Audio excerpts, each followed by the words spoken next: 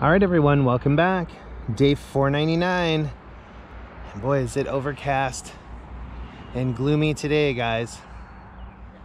Feels like it's gonna thunderstorm any minute. But we'll see what we get. But I hope you guys are having a great day. And don't forget to get out and get your steps in. No matter how crazy the weather is, I know you guys can do it. Well, I'm gonna set up this time lapse because I don't know what we're gonna get. It should be interesting, and I'll see you guys tomorrow. We'll do it again.